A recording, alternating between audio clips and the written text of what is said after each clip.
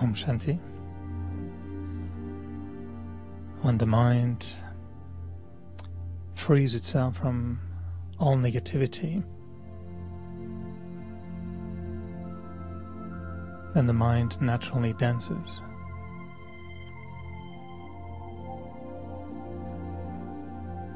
And the most beautiful dance, the most gentle dance, is the dance of the mind.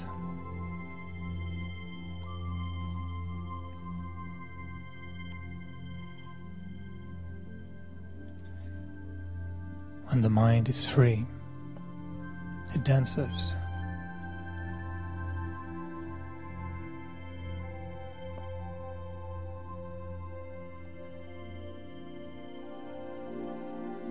And when the mind is dancing,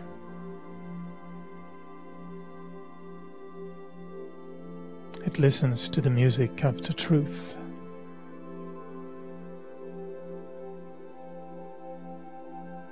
The mind can hear the melody of the truth.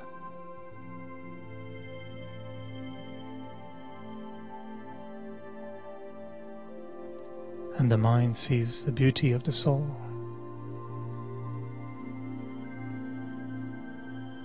And it takes strength from God.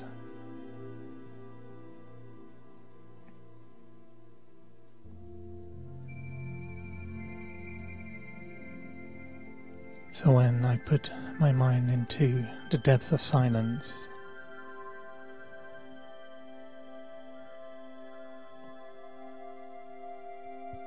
that beautiful silence can clean the mind. Silence can take away all the noise, all the dust, and all the darkness of the soul.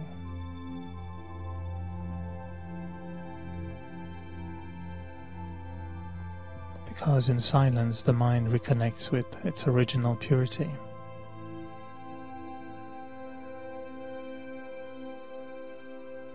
Silence, pure silence, and silence filled with truth, the truth of the soul, its natural state of being just a soul.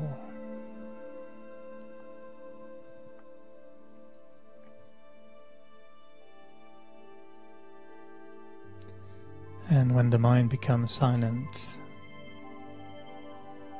it can see beauty.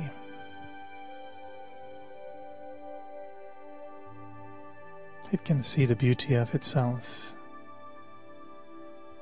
but also the beauty in others.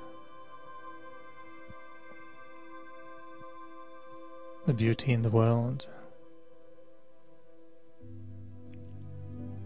and the beauty of the Source, the Supreme, the Divine, the Eternal Truth.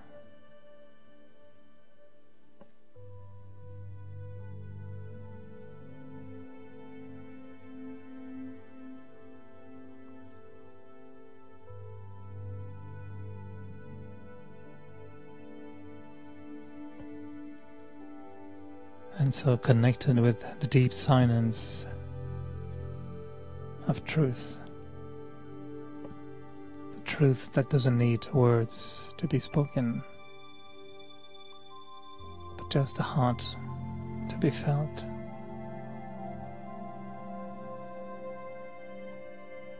So when the mind listens to the music of the truth, The movements of the mind reflect the beauty of the soul.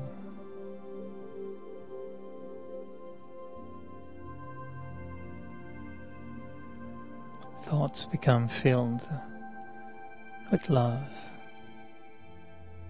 with peace, with kindness.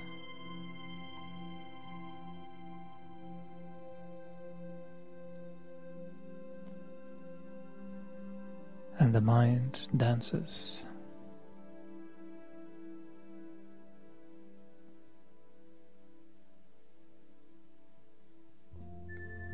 And the thoughts follow the rhythm of beauty.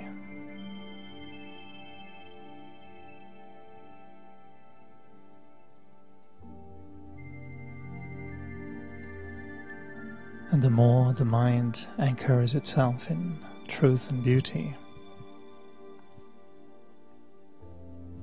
the more the mind can experience the strength of the Supreme. As if the mind is being pulled, drawn to the higher light the higher being.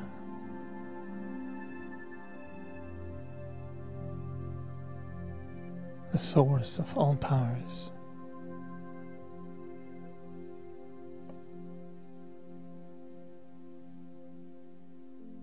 And the mind dances in front of the sun, sees the rays of light, feels the might and it becomes bright.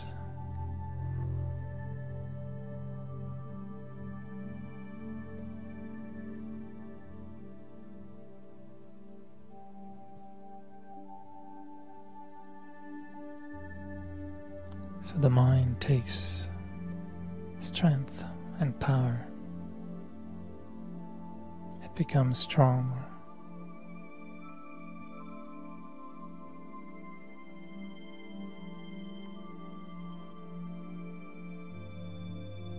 and that beauty filled with silence reveals the power of the soul, the power of love, the power of peace, the power of its own purity.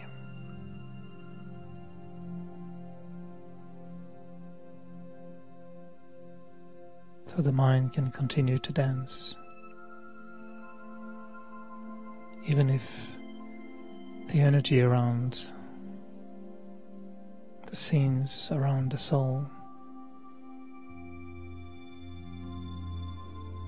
becomes sometimes a little bit difficult or negative, the mind continues to dance.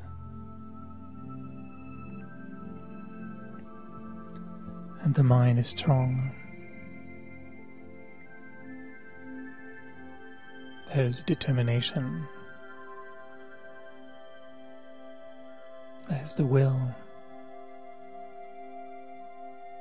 the courage and the soul.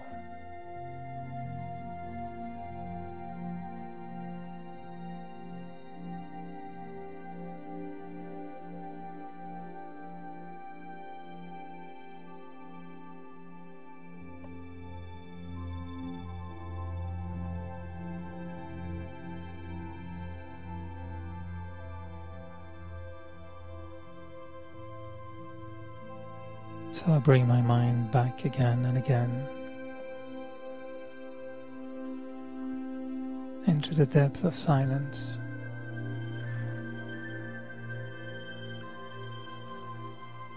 I listen to silence.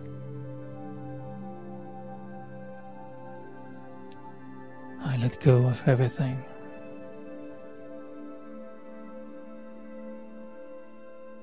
I surrender to the purity of silence.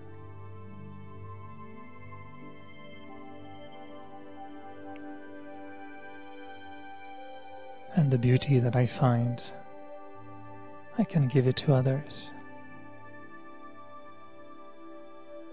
because I'm strong. allow situations or people around me to shake me.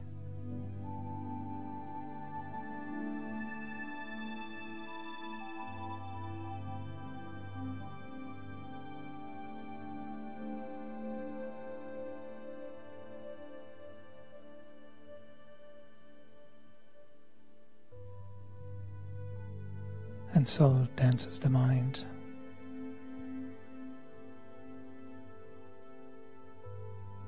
And the mind keeps dancing.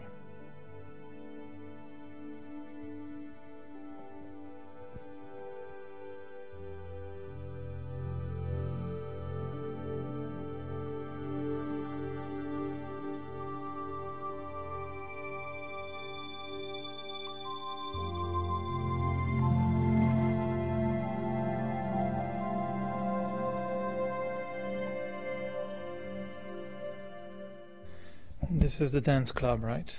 This is the dancing evening, is it? All right, we're at the right place. Did you feel your mind was starting to dance a little bit? Or was it bouncing against the walls? Good to see you again. And um, so this is going to be the third session on the topic of the dancing mind, the dance of the mind. And if you like the topic and you want to listen to it again, it's on YouTube, so we can play with those ideas. And yeah, it's good. I like the idea that um, you know we started with mostly looking at the strength of the mind, and you know if you are with 40 uh, degrees of fever in bed, sweating hallucinating and someone says, Hey, do you want to come and dance? You say, Oh, not really. you don't feel like dancing when you're sick, is it? So it takes a little strength, a little energy to be able to go and dance. And sometimes we're just not in the mood, you know, we just don't feel like going dancing at all. And the reason often is that the mind or the person is just not in good uh, good mood, good shape. So the first session was mostly about exercising the mind giving the mind a chance to you know, become a little bit stronger. So um, the focus was on the uh, paying attention to giving the mind exercise on a regular basis. And in the second part, we went more into, if I can recall properly, what uh, was in the meditation now is that the mind needs, you know, an anchor. It has to really, just to become able to dance, it has to listen to the music. And the thought was that the music is that kind of purity, the truth, the knowledge, the information that the soul learns. And so we um, highlighted the necessity of learning, studying, bringing new, fresh food in the mind. If the mind eats the same food over and over and over and over, what are you going to, what's going to happen? If we rethink the same thought again and again, and particularly if it's a negative thought, the same worry every day. You know, maybe I'll be late. Every morning you tell that to yourself. You'll definitely be late. So, what kind of thoughts we entertain? How do we learn to change the thoughts, to change the uh, awareness, the consciousness? And studying is beautiful. It's really, really, if you really study well, then you really enjoy. If you find the teaching boring, then of course, what can we? We're not learning at the time. So we're mentioning that the, the knowledge is really the melody of the dance, that the melody that makes the soul dance. But then with the melody, you need also values, qualities, skills, uh, abilities that um, allow you to dance properly, know how to be gracious. I mean, if you dance and you break everything around whilst dancing, it's not really, it's fun, but uh, not sure the parents or the neighbors will like it. And if when dancing you just hit everybody around because you are moving all the time, and then at the end of your dance you have three people on the floor bleeding, and it says, "Yeah, that was a little bit intense dancing, right? It's not the kind of dance you want to do just by pushing everybody and creating chaos. So beauty in the dance is nice, and graciousness and elegance and art the beauty of seeing a dancer when they perform is you look at them and say, wow, how can they do that? Of course, they have years of training, but like professional dancers, they are incredible. You, every little movement is calculated. So, in the ability to keep the mind dancing, then it comes from the ability to bring in the mind the beauty of values, virtues, love, peace, happiness, kindness, all these qualities, So not only we learn, but then we have to absorb, we have to develop those qualities. And then the third part was the idea of uh, the strength, the endurance, the so that it's not just a little dance you dance for five minutes, and then you go crazy for three days. You know, and you say, "Oh, I had a good dance," mentally, and then next three days you just go crazy. Then what's the point? Uh, the dance has to keep going all the time, all the time, all the time. And if something happens, then say, okay, am I stopping to dance? Or do I keep dancing? So the dance keeps going only when there's power in the soul, strength. And we call it the power of yoga. So knowledge, virtues, yoga, they give a complete set of uh, resource and sustenance to the soul. So I think that's what we were playing with for the past two sessions. And where I'd like to take your mind to now is a phase which is quite important because most people don't really dance alone, right? Sometimes it's good to dance alone, but sometimes you want someone else to dance with. And uh, that becomes a little bit tricky. Because if you want to dance rock and roll, but your partner wants to dance the slow, well, you have to compromise or choose one or the other, or change partner or change the dance. I mean, it's not going to work very well, isn't it? And in life, the truth is that we are most of the time involved in connecting with other people. Even if it's not physically, sometimes it's just mentally. And even when we're alone, most of the time in our head, there are a lot of other people there. And I know we create those kind of uh, exercise in the early uh, stage of um, the Raja Yoga course but sometimes we ask people, can you identify how many people you thought about during the day? I mean, that would take you a little effort, but if you were to pay attention over the next few days, for example, to just see how many people enter your mind with or without your authorization. Can you imagine people walking in your home without asking? You know, you're just having a nice nap, and then three people show up. Hi there, you know, we just decided to come for tea. So, what? I didn't ask you. I mean, I love you, but I didn't ask you to come. Uh, imagine your mind being invaded by other people without you wanting them to be there in the first place. And so when we have a conflict, uh, conflicting situation, what happens? Let's say you had an argument with someone. So it doesn't go well and you're not happy and you don't agree and oh yeah, you don't feel happy. Normally when you leave the person, you should be really happy to leave the person. Say Om Shanti, bye bye. Have nice chapatis or something, but leave me alone. And then you go home, and what happens? They're all in your mind. and they all sneaked in, and you keep talking to them the whole evening. They're not there in physically, but they just moved into your mind. and this is really annoying. And the conversation keep going the arguments again, you rewind, you start again. You rewind, you said better. No, what I really meant, you rewind, now you do it really well. we become experts trying to sort out something in our head because of our negativity, anger or, you know, frustration, whatever. So we haven't freed the mind from the other person, even if they're not there physically.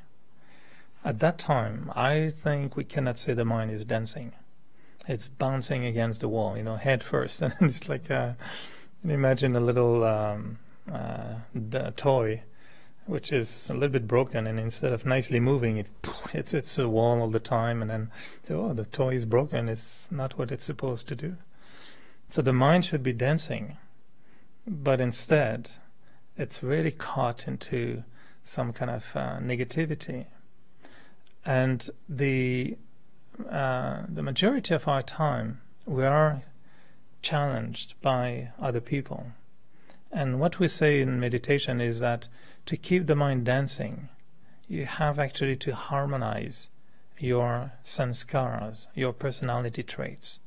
So, sanskara is a word we use to describe uh, the imprint of the action on the soul.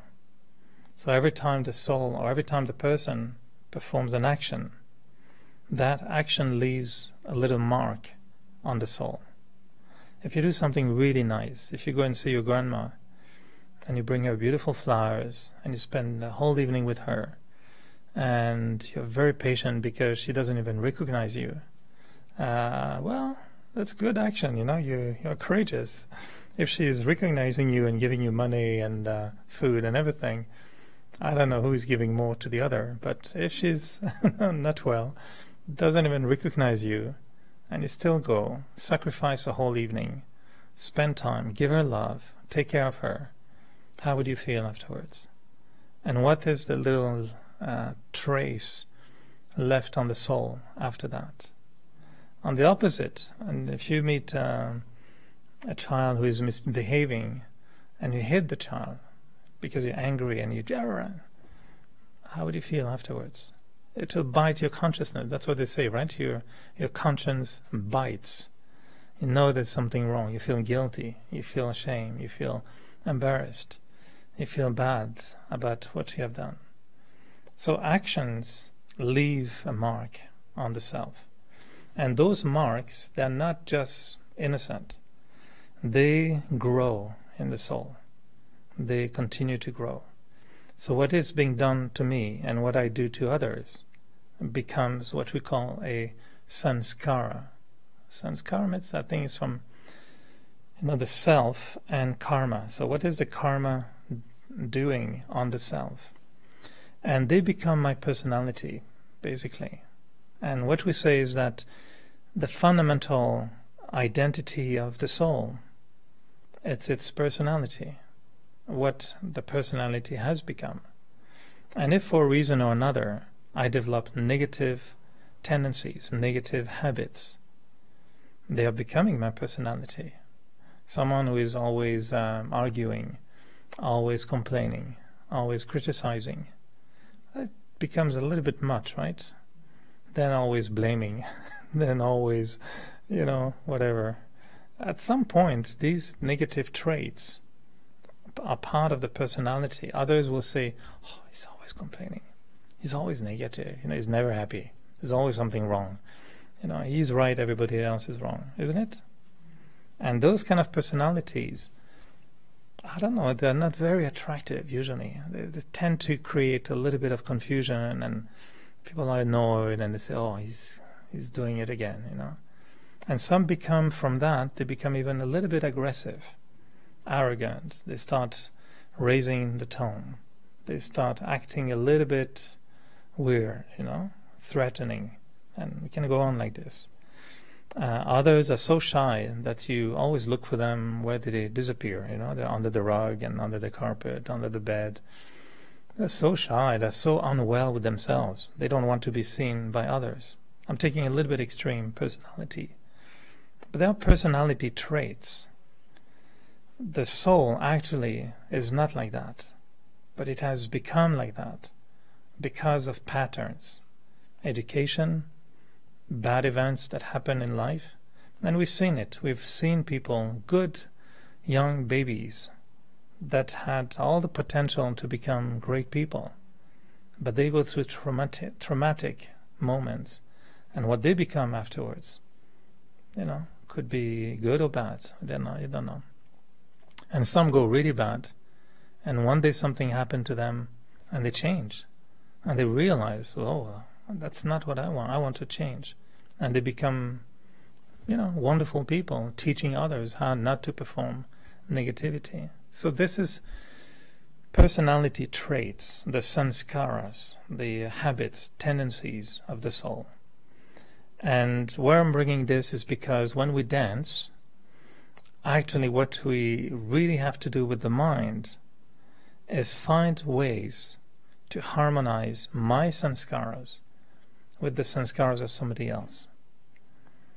And the only way to do it is if the mind becomes a little bit like the oil between two pieces that are really not met, not really meant to be together properly. So if you have a square and a triangle and you try to fit them together, they don't fit together. But it, I don't know. I haven't tried. But if you use a lot of oil, maybe you can cheat it a little bit, and they can at least you know it will be less hurtful that if you're trying to make them fit together. And so what we find is that it's very rare to meet people with similar sanskaras. We are looking for them. You want people who have same patterns as you do. Much easier, isn't it?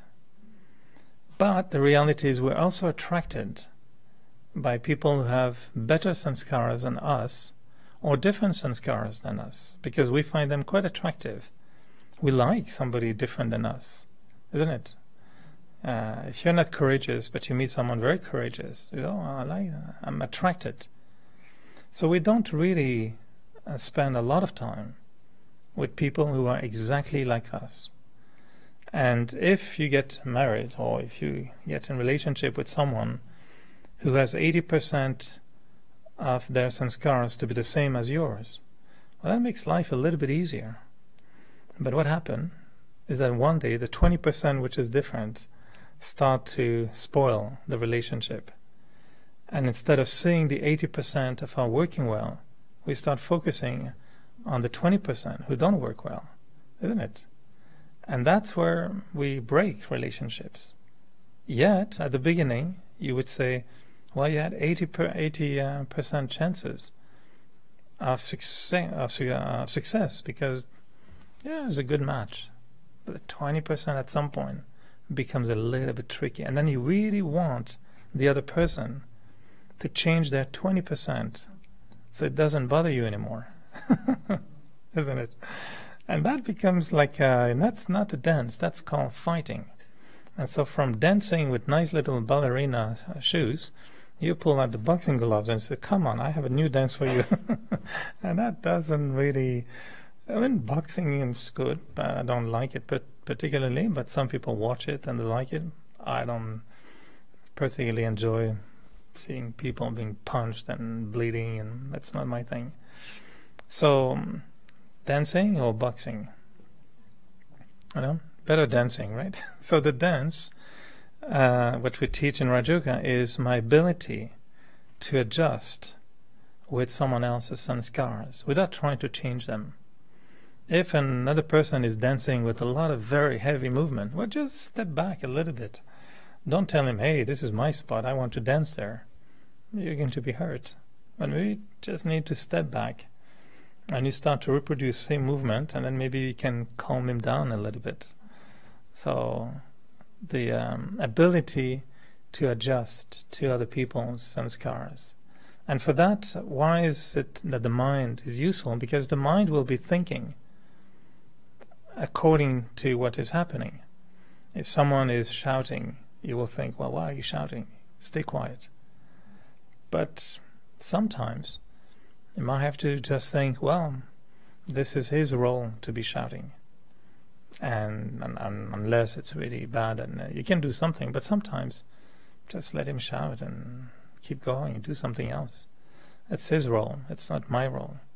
Uh, if people want to hurt themselves, sometimes honestly, it would be like, well, I can't control everyone. I can't change everybody. I cannot fix everything. And sometimes there's a slogan saying, I didn't create it and I can't fix it. So it's not that, you know, I was responsible for everything that happens. So other people's personalities, most likely, you won't have um, big, big effect on it a little bit, but they will remain who they are. Their own journey, that's their own journey, that will allow them to change or not. It's not me who can change somebody. What I can do is to learn to accept the differences. It's to find my own way to step around so I don't get hurt by the person. Uh, the image we always give is this beautiful image of the river. And if you follow a river from the source all the way to the ocean, it goes through so many different phases. You know, it might even become a lake at some point. So it's almost like it's a uh, beautiful lake, but it's actually a current coming in from one end and come, come, continuing on the other end. And then it goes through rapids. And they say when water hits the rock, it's not trying to move the rock. It naturally goes around. It doesn't. It's not bothered by a rock, isn't it? But if rocks hits rocks, they move each other, and uh, water doesn't uh, move the rock. It just goes around. And with time, the rocks become the rock becomes even very soft, very nice. It's been polished by water. And so the dance of the mind is when it becomes water, not rock. And if there is differences, I accept them. If someone else, uh, if someone has a different personality, different habits, I may have to, may, maybe not accepting them because sometimes it's not a question of accepting; it's a question of tolerating, which is different. And other times it's just a matter of um, being very detached so it's not a matter of accepting or tolerating, it's just a matter of being very, very detached. So tolerating means you are confronting it a little bit, you're close to it, and you tolerate. Accepting it is when you see it. But being detached is when you don't get too close anymore. You just don't make yourself uh, affected by the person or the situation. So that's called detachment. So the dance of the mind requires at some point that we learn how to adjust and um, move around the personality of people who are very different from us. And the real trick to keep the mind dancing is its ability to connect with other people properly. Because life is big chunk of our life is how we move through the relationships. Child and parent, you know, husband and wife, brother and sisters, relationships, friends, work, the world. See, we see people in a society killing each other. How do we cope with that? How do we feel if, um, you know, a neighbor starts misbehaving and break the whole thing? It's a family. I mean, world is a big family, and our mind is in reaction to everything that happens. And so, what creates the sorrow of the mind? uh, is its own way of thinking about what's happening, isn't it? If something is wrong, and you start to think, oh, it's so wrong, and it shouldn't be like this, it should have never been like that, why is it like this?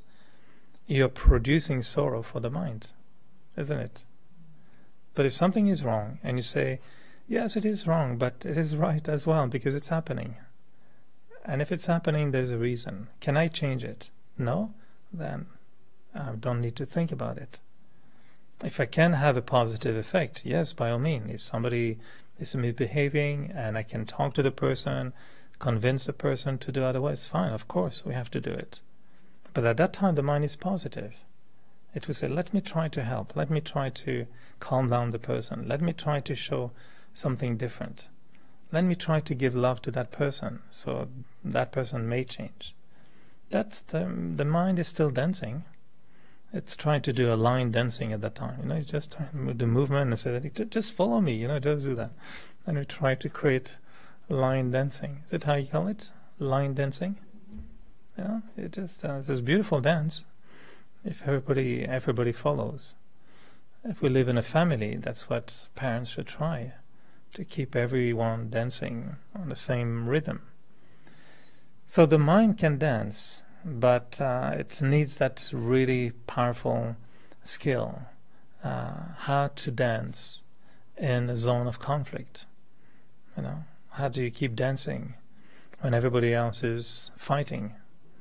No, just show up in a big boxing game and then you show up on the ring. Hello.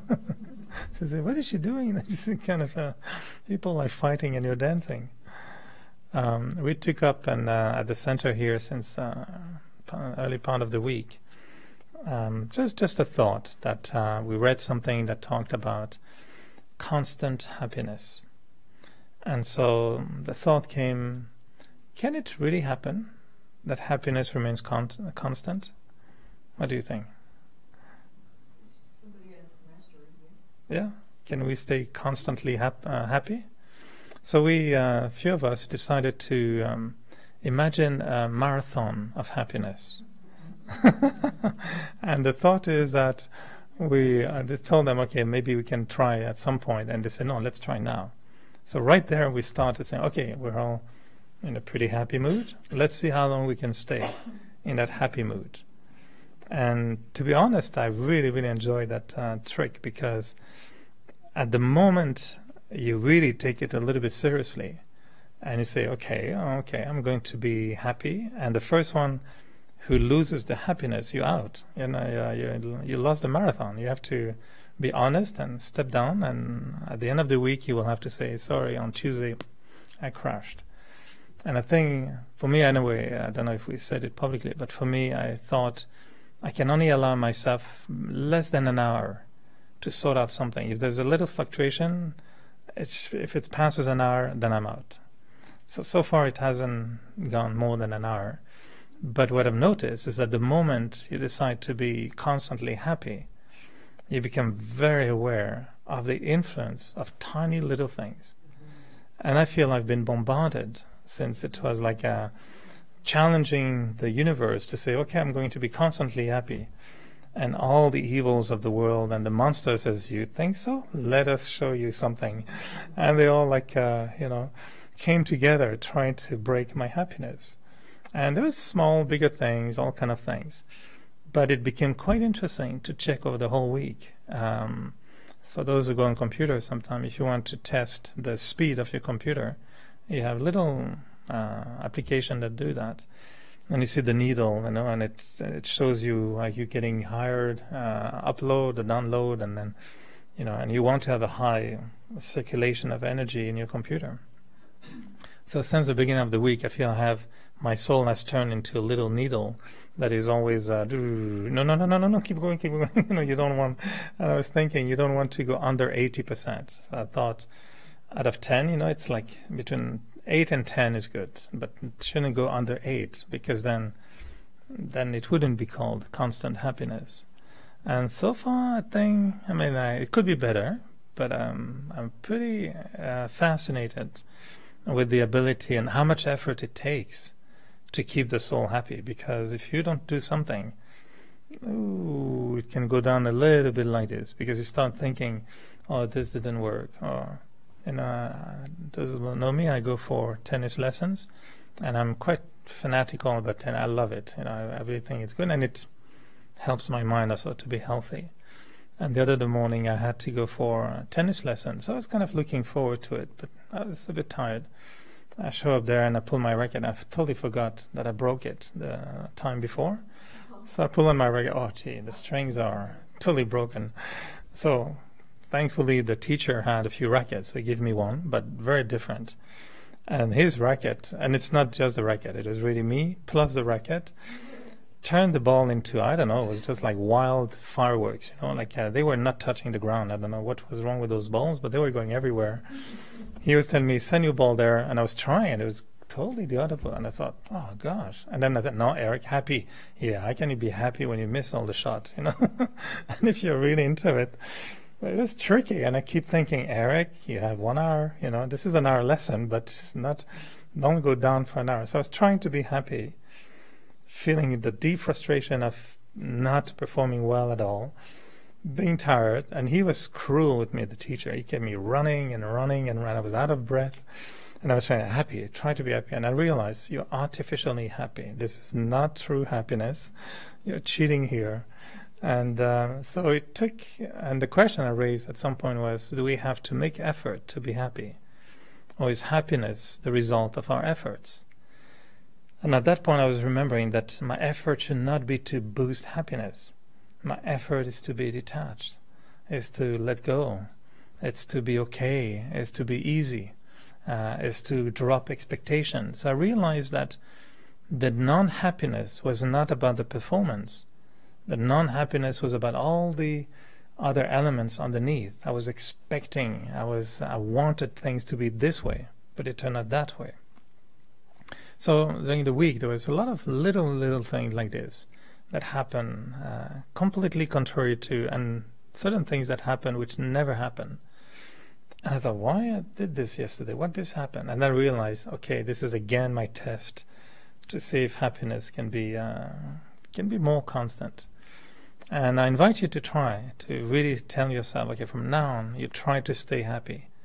And it's not that kind of um, I don't know if you've tried uh, Isabel, yeah? But she's naturally happy, I don't know. You, you have no effort to make, right? I do. I can become grumpy, so those who are never grumpy, I don't have to make effort. That uh, was was good. Yeah, it was good. Mhm. Tuesday, but every day, uh, today I forgot. I was happy. Good. Thank Lord you were happy anyway. So you forgot, but you were happy anyway. Good. You didn't lose. You're still running in a marathon. But it's a beautiful concept, the marathon of happiness. You know that uh, if you lose your happiness, you're out. then you're on the side and you look miserable. And what happened? I stopped being happy. Oh, poor you. Lost the the marathon of happiness.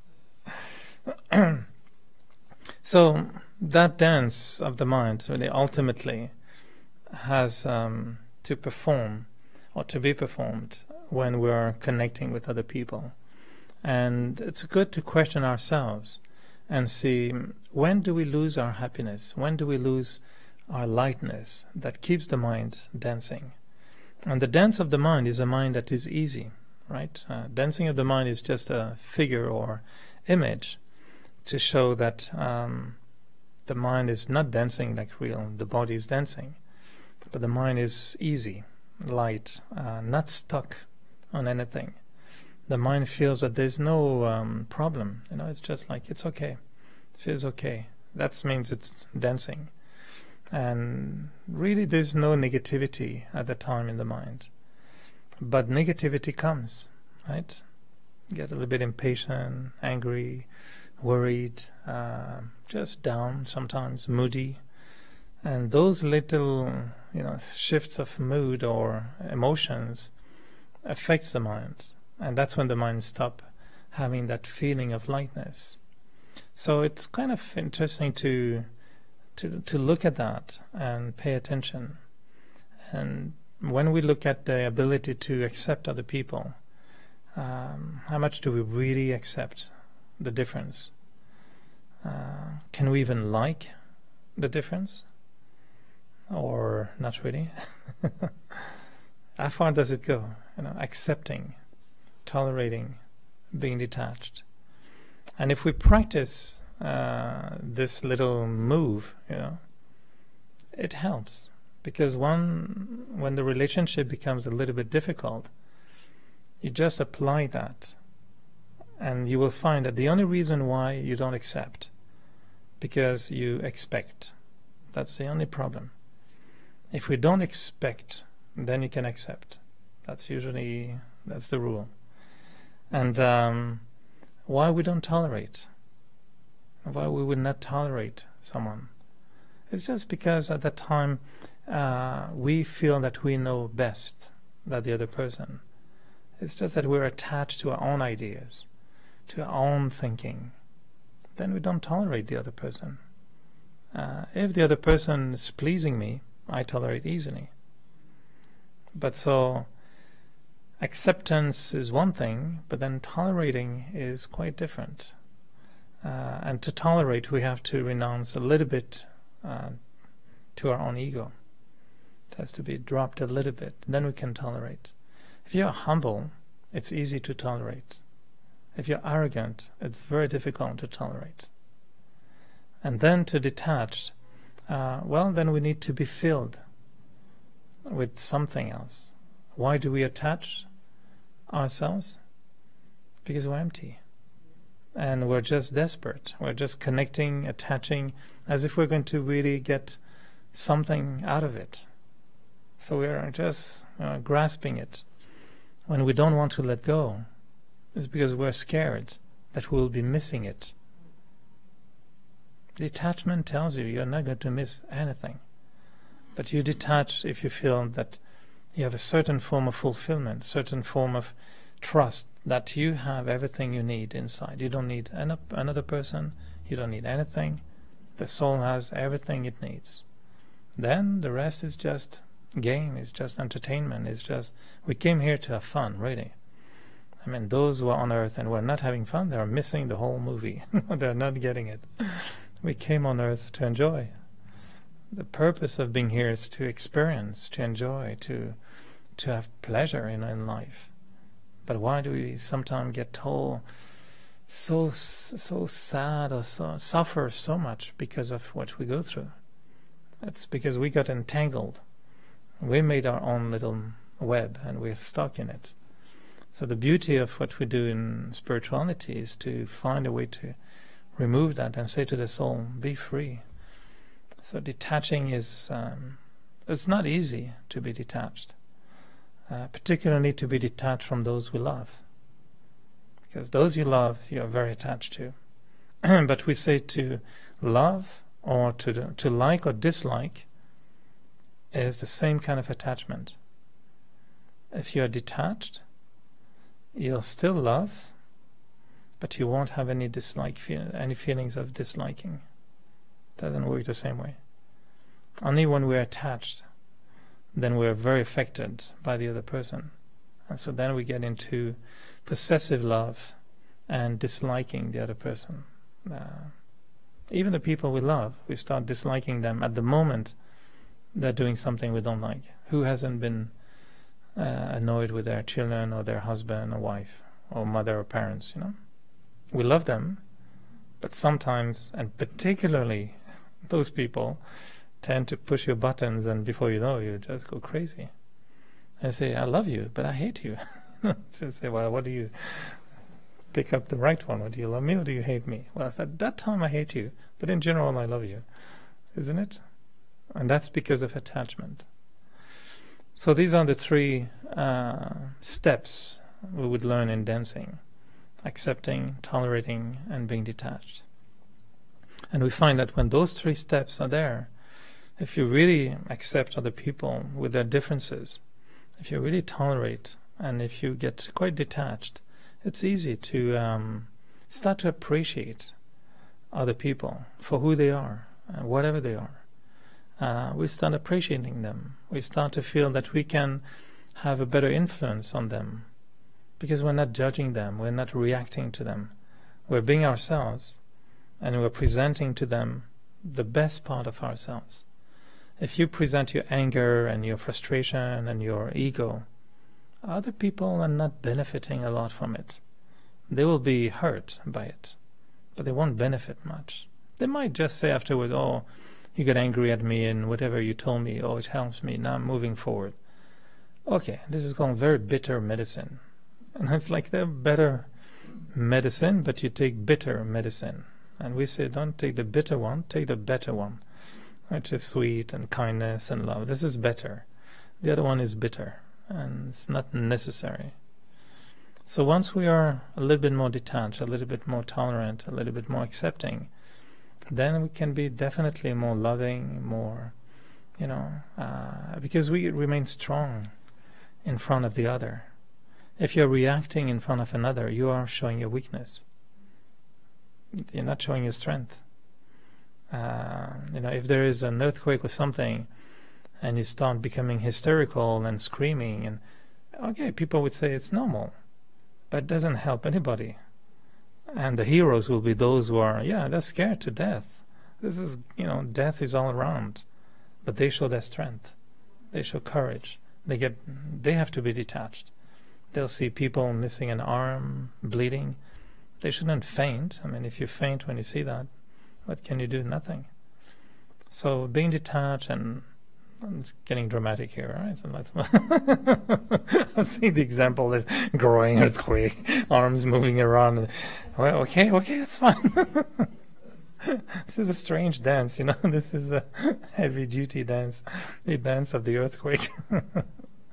but the analogy, I mean, it's the point is, if I'm not detached, I don't show my strength, I show my weakness. Okay, so that was the final move to keep dancing. Does it make sense to you? Or, yeah? Because we don't dance alone. So odd couples are very nice. You know, when they don't match, the size is not the right one. They don't really dance the same dance but somehow they look beautiful. Why? Because you know they're adjusting. And I'll leave you with that image again uh, of um, playing tennis, and I was with a partner and we were on our court trying to play very well, you know, and we're hitting the balls and well, it was fun. I'm, I was enjoying. It. It was quite a lot of fun. But my partner was very, very uh, how to say, um, competitive and you know. And then every time he'll miss a ball, I thought he will hit his racket somewhere. Are you thinking, well, don't get so mad. I mean, you're just playing. This is not like Grand Slam in Wimbledon, you know. This is just Jarry Park and with nobody here. But next to, and we had, you know, proper, and what I really noticed, we both had very nice outfit, you know, to play, like proper shorts and t-shirts shining and, you know, big bags for the tennis rackets. So we looked like professional who just play very badly. Uh, but seriously. and next to us, there were, I presume, a couple, or I don't know, friends, I don't know, but uh, they were in uh, running shoes, uh, pretty ordinary, not at all uh, uh, adapted for tennis they were dressed like completely, uh, you know, whatever shorts they find. I don't know if it's a swimming suit or a short, but they look pretty casual, you know, for people on the tennis court. And their tennis looked much more like badminton. I found that was more like they look more like playing like this than really like that. And their balls were always on our court or somewhere else. They were always searching for their balls somewhere, and they're just going everywhere. They were missing all the balls but they were laughing, having so much fun. They were like crammed, know, they were, and then even my partners are making, making noise, these people.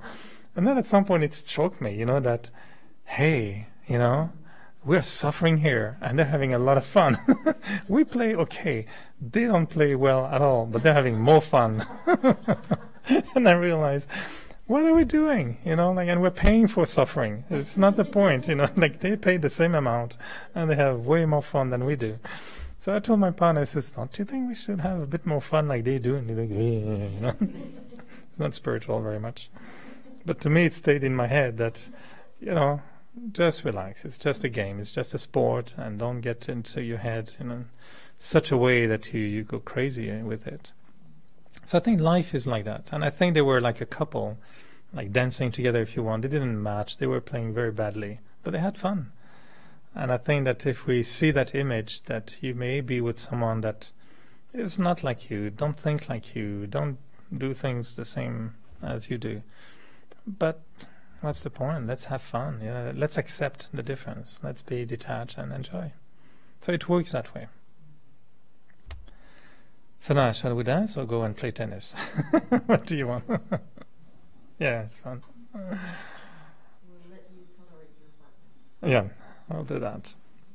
So let's finish with maybe a nice meditation again. Did you follow the first meditation? Um, so the concept will be again, I can share some thoughts, but really you listen to it and you can stop listening to it, it's fine. But the important is the importance is for you to just pay attention to the flow of the thoughts and creating the experience with the thoughts. So if I say a few words, you may listen to them, but then in between you can create your own thinking, add your own little flavor, and that's will dance together in that way. No, it's on its own. It's already dancing.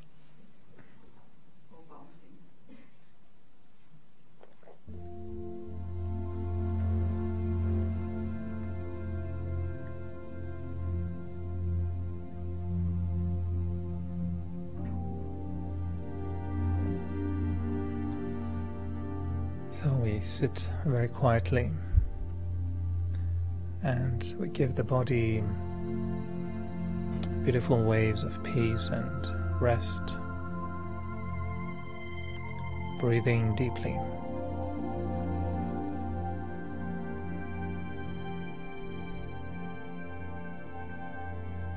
And we enjoy when the air goes through the body when you feel that your body is completely relaxed.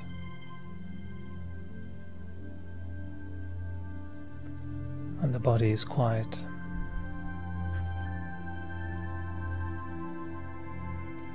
And even if we are keeping our eyes slightly open, we can slowly detach from everything around us. We can see, but we don't see. Can hear, but we don't listen. All the noise around, it's there.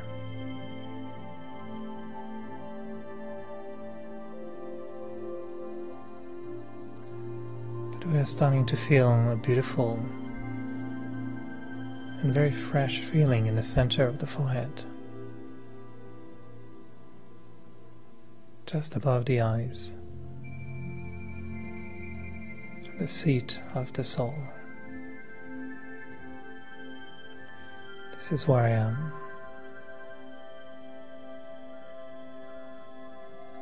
This is where my thoughts come from.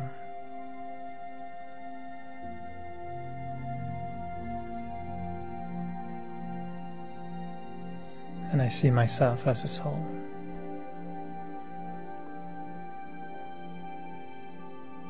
It's a beautiful feeling. As if there is a gentle light,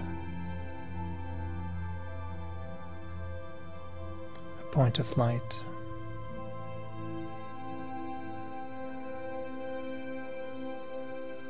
It's the light of the awareness, the light of the consciousness.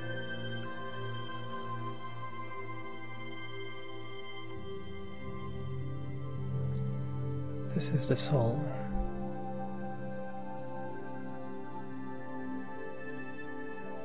And I really enjoy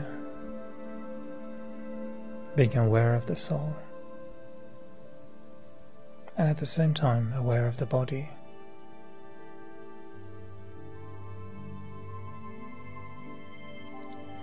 But I keep in mind that I'm a soul in the body. And that I, the soul, I'm the one thinking.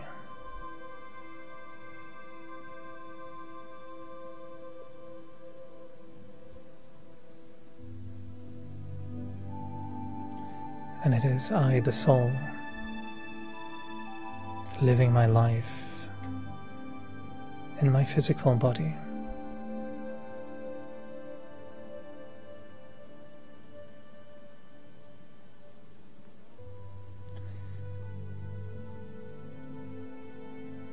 And I know that I play my role in my life. I am who I am. But I also know that the soul needs purity, peace, love on a spiritual level.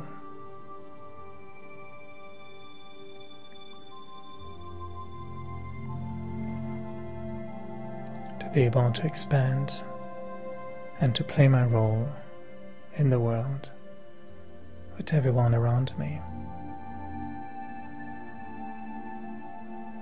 I need to find a time to fill myself with that spirituality, the spirituality of the soul.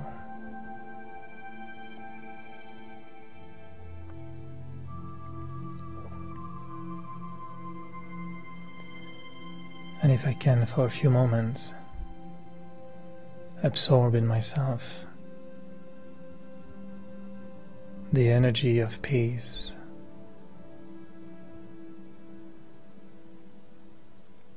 The energy of love. I know that I will have that peace and love with me when it's time to perform, when it's time to play my role.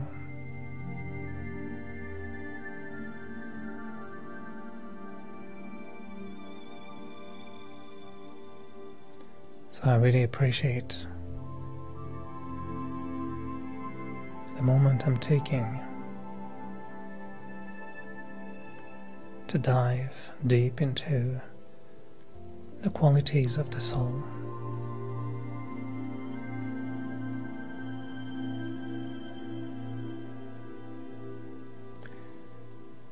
And I let my mind dance the dance of the soul. I tell myself that I am a beautiful soul, that I am a powerful soul.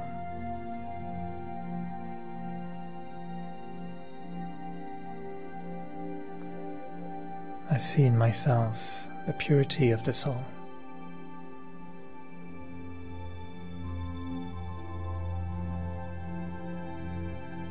And I can feel that I can be also a very peaceful soul. Just comfortable in my peace. Natural, easy.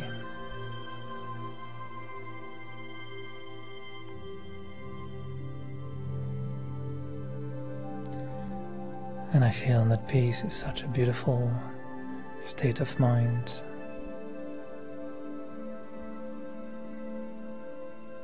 A peaceful mind.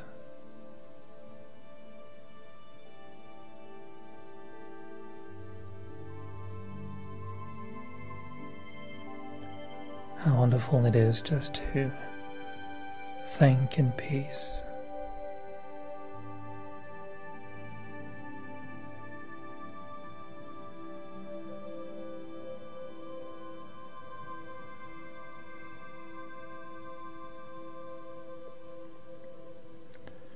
And I can notice how my thoughts have become slower, deeper, filled with peace.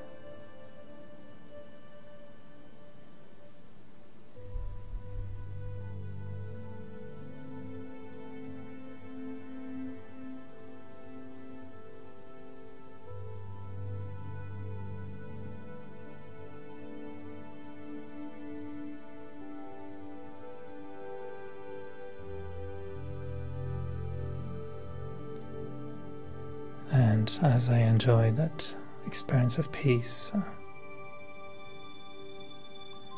I know that I will have to come back.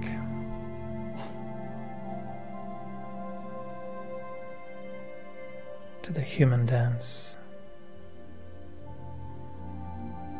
When I will have to be with so many other people around me.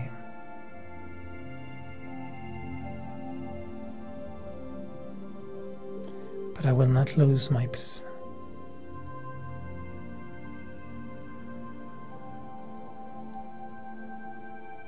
I will see everyone as a unique actor in this beautiful drama.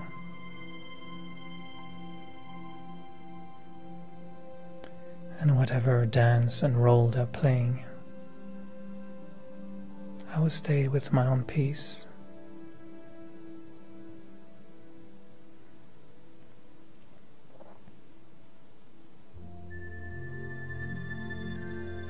Think of it, I'm never really dancing alone.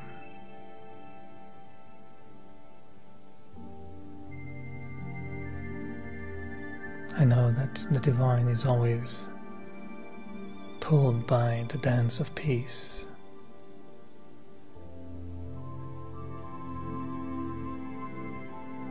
And when I'm connected with my beauty, I know He's watching.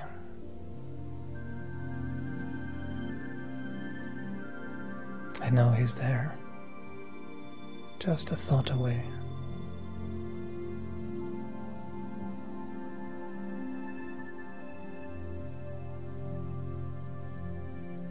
Always giving me His hand so I can join and dance.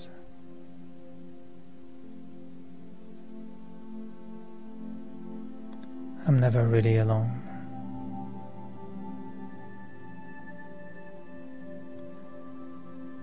So I dance with the Supreme, light with light,